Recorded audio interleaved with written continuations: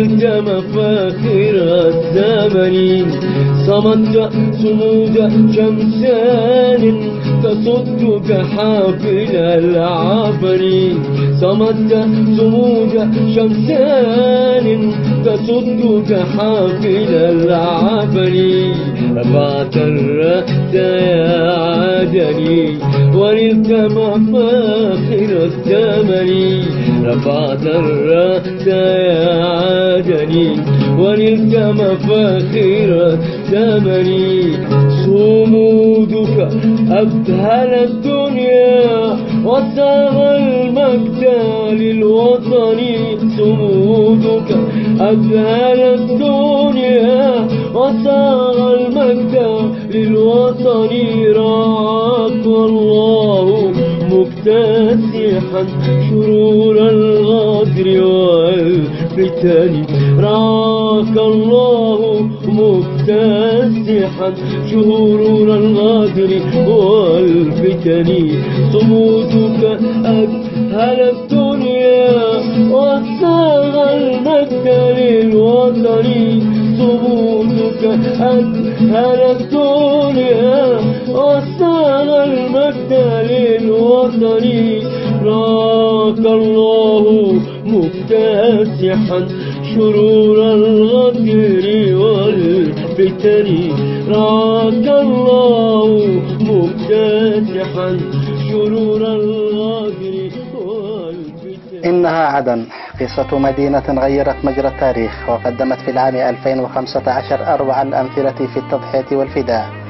ضد المحتلين والإنقلابيين والمتمردين وميليشياتهم. وقفت عدن بشبابها ورجالها ونسائها للدفاع عن كرامتها وارتوت تربتها بدماء الشرفاء من أبنائها الذين هبوا من كل حدب وصوب للدفاع عنها. عن قصة مدينة أسطورية صمد أبناؤها في وقت ذابت فيها الجيوش. في بداية شهر مارس من العام الماضي كانت عدن على موعد مع مرحلة فارغة في تاريخها. حيث اجتاحت ميليشيا الحوثي تساندها قوات صالح عدد من المحافظات حتى وصلت عدن. استخدمت القنص والحصار والتهجير وقطع مياه الشرب والكهرباء وكل مقومات الحياة بهدف تركيع هذه المدينة. ومع سيطرتها على مدينة التواهي حتى عمدت على منع وصول المساعدات إلى النازحين في ظل انعدام مقومات الحياة الأساسية.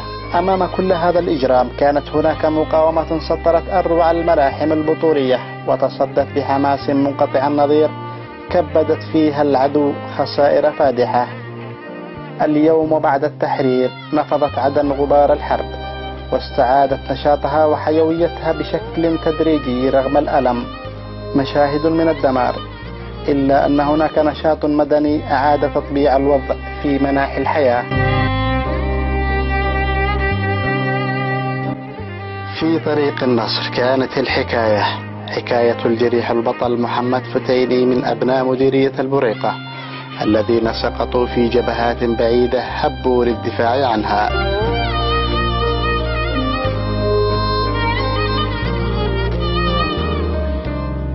أنا مقاوم محمد علي فتيني حسن وقد اتجهت كنت البريقة من مقاومة حق البريقة واتجهنا من هنا إحنا وماجد الأسور إلى كرش في جبهة كرش نساعد إخواننا في كرش وبعدين دخلنا إلى موقع الشريقة.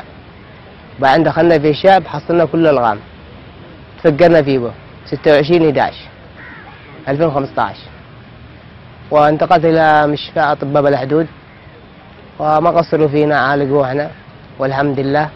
سلحوا لي أربع عمليات. وعملية ما قدروا ندخل فيها. الانسجه ما قدروا. بتروا رجلي من تحت وعالجونا كل شيء قصت فيه بقى تقريبا شهرين. وعندما خرج من داخل المشفى ثاني كنت أتابعهم للمديرية حقيقتهم من السبت وكانوا رحت مكتب الجرح قدمت لمدير المديرية هاي اليزيدي قدمت أوراق عنده كل شيء وحولنا لمكتب الجرحى وأنا الأخت نوال تابعنا على العلاج برع شلداتنا شيل عملية الأنسجة إنما أقدس الهويتين أما الرقص جابوا لي أطباء بلا حدود رحت عندهم وشليته ب 16000 للصليب الأحمر يركبوا لي رجلي صناعية. بس كبس. أنا أثرت عليه ما قدرت أمشي فيها. من أجل من أجل نصر ديننا دين محمد رسول الله. وهذا هو تجابوا دين شيعة. لا ترضى في بر الله ورسوله ونحن قمنا من أجل أرضنا ما ينقسهاش قاومنا قاومنا حتى النهاية. قلنا يا نرجع. يا الموت يا السلام. يا نصرنا عليهم يا موتنا مش قصة. أهم شيء نموت ونحن شرفاء. لا ينقسوا هذول النقص الشيعة يدخلوا في بلادنا يجيبوا جيل يعني وسخ. جيل لا يعترفوا بمحمد ورسول الله ولا يعترفوا بالله. إيش نشيبهم؟ نقاتل حتى آخر قطر من الأدوان ونموت. مش قصة. اهم شيء إيش ننصر بلدنا بالدين وبالقوة وبالدول الخليج متعاونة معانا فقصروا. والمقاومة. أنت مقاتل من قبل ولا؟ أنا عسكري أول. كنت عسكري. أنا كنت عسكري في الدفاع القوي. بس انفصلت يوم الوحدة تمام. وسافرت يعني من كتب السهيلي. بس فصلوح أنا. حرب 2015 خلاك تحمل السلاح من جديد؟ أيوه. من أجل ديننا قم شيلنا السلاح. ليس للسلطة ولكن في سبنا السلطة جنب الناس اللي كانوا موجودين معك أثناء المعركة. آه، كانوا كلهم عسكريين ولا كانوا آه، لا ما فيش اسمها عسكري كله مقاومة شعبية. اسم عسكري كان ما في حتى عسكري نسجل نفسهم مقاومة شعبية. وقمنا قاتلنا كل شيء مقاومة شعبية. من أجل نصر ديننا ونرفع حقنا الدولة العظيمة دولة الجنوب الحر. طيب آه، أكيد تعرف حد من اللي كانوا معك أصيبوا؟ ما عندك قصة لأي واحد؟ لا. يعني اثر فيك.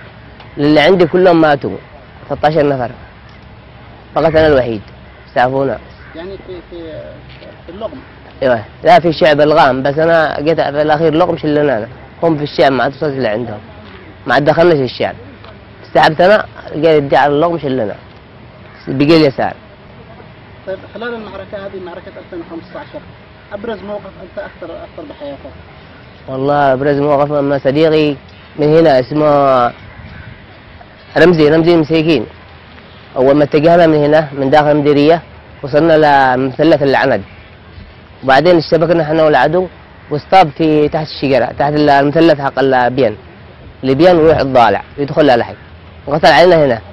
طيب نحن ما يئسناش سبناه وواصلنا. رحنا ما عاد رجعناش العيال اصحاب مجموعة من اصحابنا رجعوا. إحنا ما رجعناش. واصلنا لما من يعني تقريبا من 9 9 2015 أنا واصلت فيه لما 11 11 26 خ- 26 11 2015 أنا واصل العيال رجعوا أنا ما رجعتش بقيت هناك في الجبل ما استبت قلت لا يمكن أرجع حتى أن أنا يا أموت يا أنتصر. طيب محمد حدثنا عن حياتك ال- الأسرية. أنت متزوج عندك أولاد عندك, أنا كنت متزوج قبل واحدة بعدين طلقت عندك أولاد؟ عندي اثنين أولاد. لو افترضنا أنه كل الناس اللي خرجوا قاتلوا على أساس إنه آه، يكون الجيل اللي بعدنا. يعيش بنعمة وبدين دين محمد رسول الله. عشان ده إحنا قمنا. لأن إيش؟ ما فيش إلا معانا غير ديننا وصلاتنا والله سبحانه وتعالى. أعطانا النعم اللي دي معانا. يجب أن نحافظ عليها. وندخل بدين غير دين محمد رسول الله؟ يا محمد أوصف لي في وقت الإصابة. لما أصبت من أجا حملك؟ من اللي وصلك إلى يعني ما-؟ ما ما حد. أنا لما اصبت أنا ما حصلت احد يعني مشيت كما هنا سحقت لما هنا وأنا مصاب. ربطت رجلي ربطت يدي. سحبت من هنا لما يجي تقريبا عند الكامبة. كنت كل ما اتصل تليفون من كثر الدم التليفون حقي يطفى. ومسحه. أحس ان وقت يمكن عيني راحت. أنا أشوف شظايا حتى هنا في عيني. كل ما جيت اتصل تليفون أجي احصله انفصل. رجع مسحه ومسحه من الدم. وآخر سحبت غريب لعب ثلاث ساعات ما وصلت لعندك المكان. في تغطية. أصل التليفون اقصها الصليب الأحمر لفلفوا العيال وأنا قشلونا ودونا اطباء بالحدود من اللي شلك؟ آه الصليب الأحمر. في أطباء بلا حدود لما وصلت. وصف لي المشهد هناك كيف كان والله لما وصلت أنا ثاني غدنا لأن نزلت أكثر من خمس ساعات. أكيد غدنا يعني ما بين بين بين الحياة والموت. حتى لما أجوا قالوا لي وقع وقع العملية أخوي. يعني أخوي ما عرفناش. وبن خالتي ما عرفناش لا قلت له ادخلش أنا محمد. ما تدخلش عايز توقع وقع. ماشي أنا بوقع على نفسي. إذا كنت تخالف المسؤولية أنا بوقع على نفسي. أنا رحت جاهز في سبيل الله. ما اروحش إني مشان أي حاجة ثاني أنا بوقع على نفسي وصلحوا العملية. وقعت على نفسي دخلت صلاة العملية درت نفسي بعد خمس أيام. أنت أنت فخور أنك قاتلت الحمد لله نعم. وكل جنوبي مقاتل يحب أرضه يحب دينه. يجب أن يكون يتفاعل إنه إيش؟ ما يجيش ناس يجيبوا دين غير دين محمد. إذا كانوا إذا النبي صلى الله عليه وسلم وعلي بن طالب الخليفة حاربهم قال لهم ليس على النبي النبي محمد؟ وقاموا إنه شو نبي وقاتلهم. ما عندنا نحن. الشباب مقاومة لحدنا عاد بيواصل حتى لو وقوا بيواصل وبيجي يقوموا النساء والرجال يدافع عن دينهم. لا يمكن يخلوه يدخل ينقص أرض عبد الله صالح أو غيره أو غيره أو غير الحوثيين. نحن سوف نصبت حتى لو نحن مجرحة برجع نصبت ثلاث حتى نموت. ولا يدخلوا ينقصوا أراضينا. مستحيل لهم انهم يدخلوا.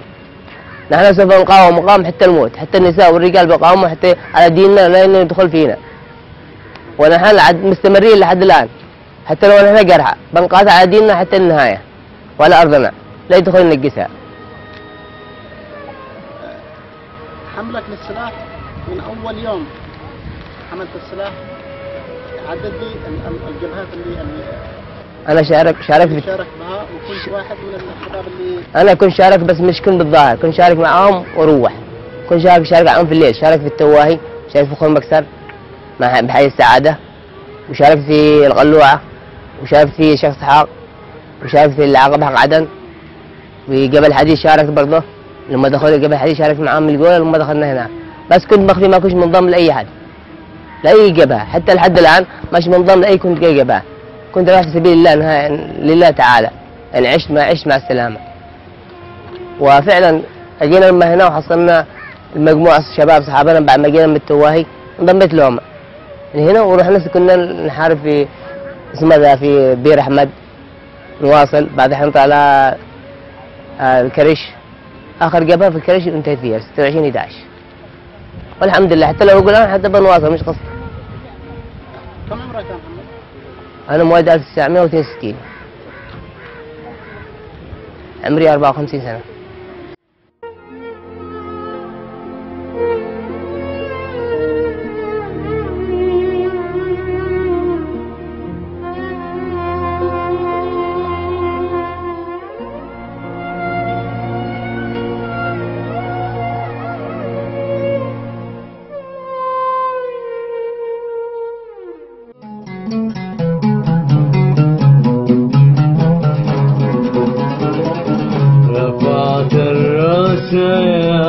عدني ونلت مفاخر الزمن.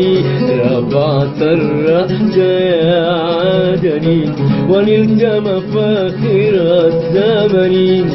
صمت صمود شمسان تصدك حافل العبر صمت صمود شمسان تصدك حافل العبر رفعت الرأس يا عدني ونلت مفاخر الثمن رفعت الرأس يا عدني ونلت مفاخر الثمن صمودك أبهل الدنيا وصار المجد للوطن. صمودك أبهل الدنيا للوطن راك الله مكتسحا شرور الغدر والفتن. راك الله مكتسحا شرور الغدر والفتن. صمودك أبهل الدنيا وصار المجد للوطن. صمودك الدنيا وصار المجد للوطن. راك الله مكتسحا شرور الغدر والفتن. راك الله مكتسحا شرور